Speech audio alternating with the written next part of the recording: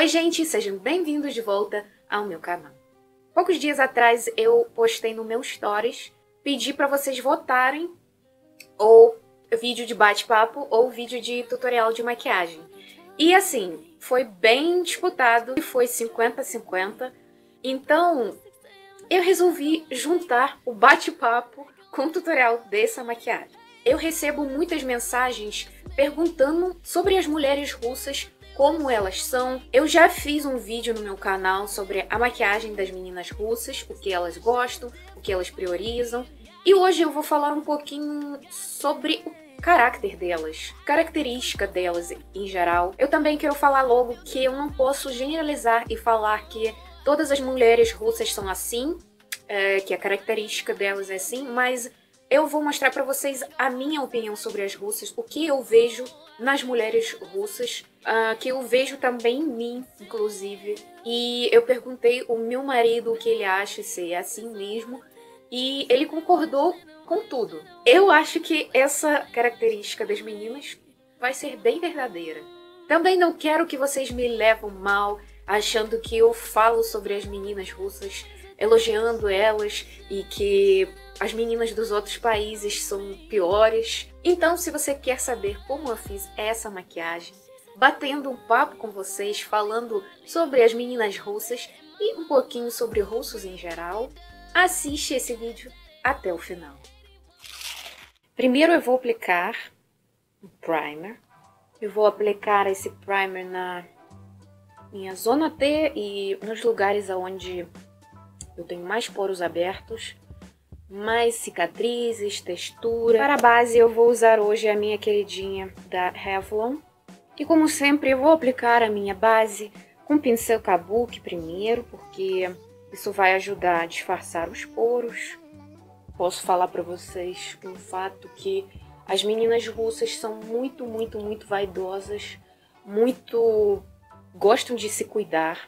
Elas são bem arrumadas sempre, não saiam na rua sem maquiagem, nem para padaria, nem para o mercado, nem para jogar o lixo. Eu confesso que quando eu morava lá na Rússia, eu fazia isso também porque isso é muito normal lá, muito normal. As mulheres de lá gostam de usar salto alto e sim, até para ir para padaria, na neve. Eu andava assim porque a beleza lá é no primeiro lugar, sabe? Você tem que ter um sacrifício para ser bonita. Mas é engraçado que quando você anda de salto alto lá na neve, você, o seu salto meio que entra dentro da neve e você tem mais estabilidade, sabe? Você não vai deslizar, sabe? Não vai cair no chão, porque isso acontece muito lá.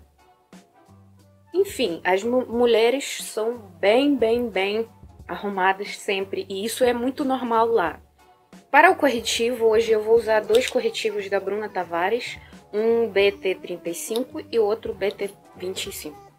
Sobre o relacionamento, o que significa para mulher russa relacionamento? Para mulher russa, o, é difícil de acontecer que a mulher russa vai sair com alguém, tipo, vai ficar com alguém, não sei, depois da balada, que vai ficar com alguém uh, e no dia seguinte vai esquecer o que aconteceu.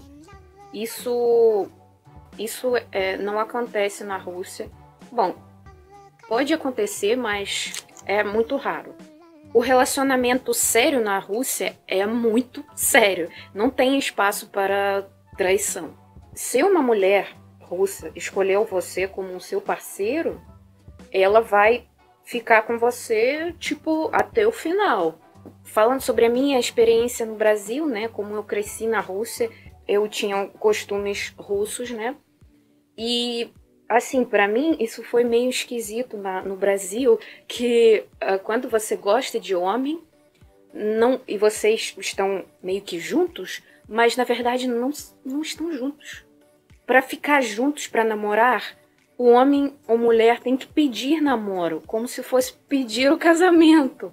Lá na Rússia isso não é comum. Se você fica com pessoa, se você gosta da pessoa, ela te gosta, você gosta dela, vocês meio que estão namorando já.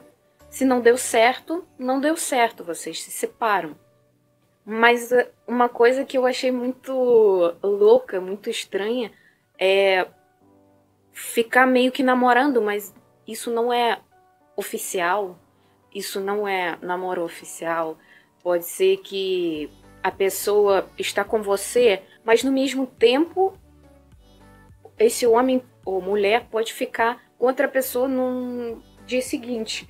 Para mim, isso foi muito difícil de aceitar. Eu vou selar o meu rosto com pó da bitarra.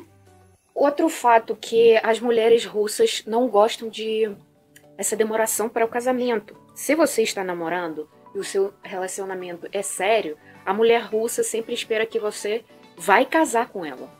Porque as mulheres russas são bem tradicionais, tipo, se você está comigo, é para sempre. Então vamos se casar logo, vamos ter filhos logo. Mas também não posso generalizar e falar isso sobre todo mundo, até porque eu não não foi assim. Eu não forcei nada. Enfim, elas não querem demorar muito, sabe? Muitos anos. Tipo, você está namorando por dois anos já, a hora de pedir em casamento. Para o contorno, eu vou usar essa paleta da NYX que eu comprei há pouco tempo e vou ser sincera que eu gostei muito. Então, para eu contornar, eu vou usar esse tom aqui. Falando sobre o que as mulheres russas esperam do homem. As mulheres esperam que o homem não seja apenas um homem, elas esperam que ele seja um cavaleiro, um protetor, um cavaleiro, um protetor, um tudo, sabe? E que faz. Gente, porque eu sempre esqueço de aplicar o iluminador primeiro. Mas sabe o que, falando sobre a mulher que espera do homem que ele seja um cavaleiro, blá blá blá?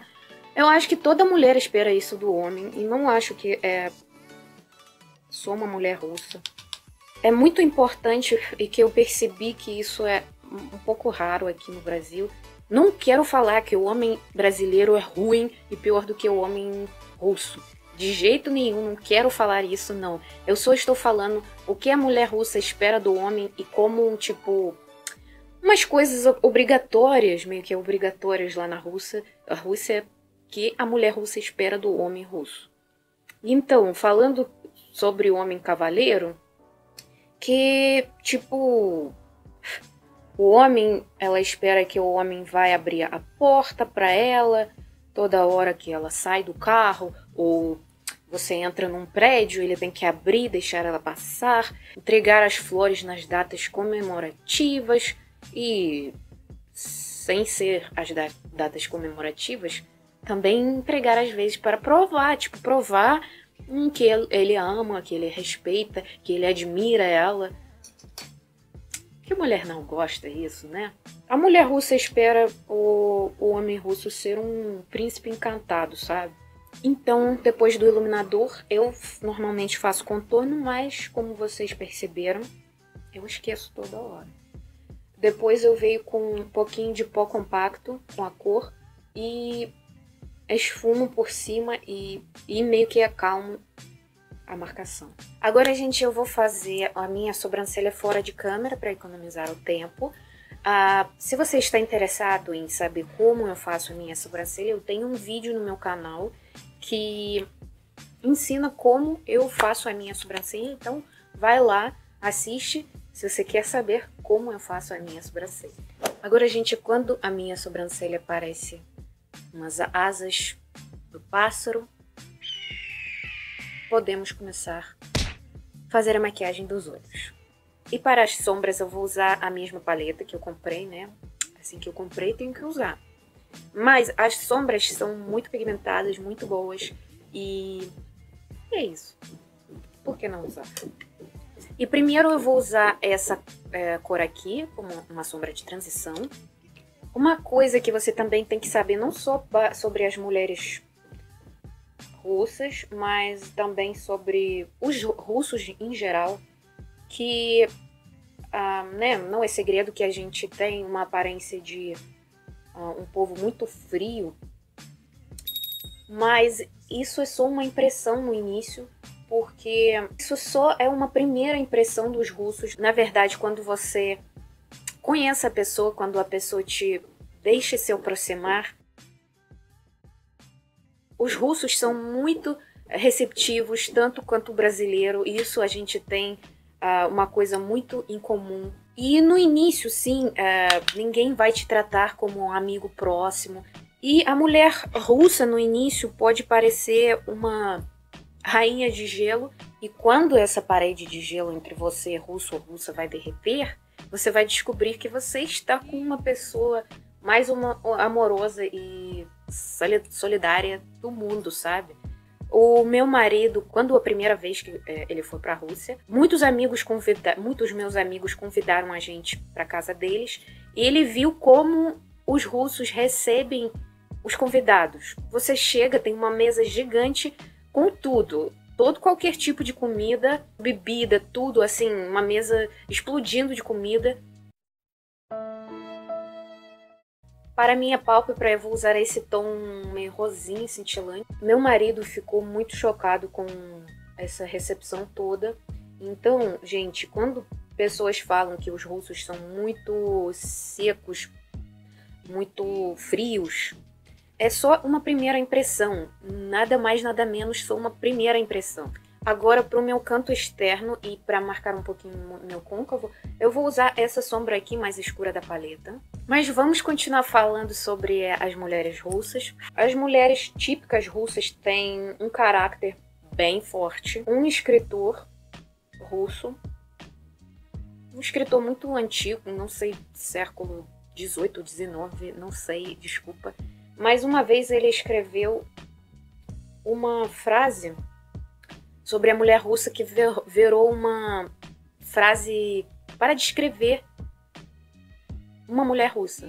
Uma mulher russa pode parar um cavalo a galope e entrar numa casa em chama. Agora eu vou pegar aquele marrom de transição, vou aplicar na minha pálpebra inferior. Eu também gosto ultimamente de aplicar uma sombra cintilante que eu aplico na pálpebra, aplicar um pouquinho no centrinho da pálpebra inferior que eu acho dá um efeito muito bonito. Bom, gente, para economizar o tempo para esse vídeo não ficar muito longo, eu apliquei uma sombra clarinha da paleta, da mesma paleta, nos cantos internos, debaixo da sobrancelha. Eu apliquei a máscara de cílios da Eudora, apliquei os cílios, aqueles cílios da China, e passei o blush, o blush da Paió. E agora a gente vai para os lábios. E primeiro, como sempre, eu vou contornar os meus lábios com o lápis da NYX na cor natural. E para o batom, ultimamente eu gosto muito, muito dessa misturinha do batom líquido mate da Latica na cor 39 com esse gloss da NYX.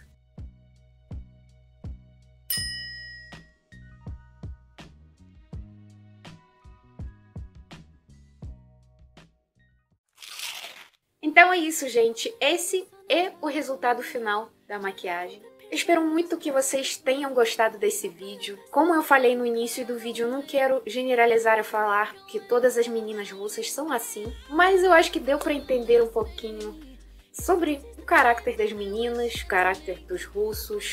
Eu quero que você deixe o seu comentário aqui embaixo, falando o que você achou em comum das meninas russas, meninas brasileiras. Você tem alguma coisa parecida? E é isso. Um grande beijo para vocês e até a próxima. Oh, tell her only partly, I only love